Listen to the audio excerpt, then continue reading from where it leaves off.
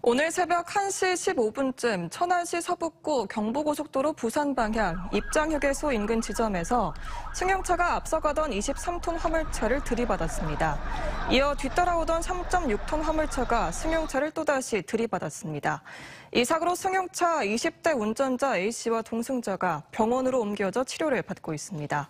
경찰은 A씨의 음주운전 여부 등 정확한 사고 원인을 조사하고 있습니다.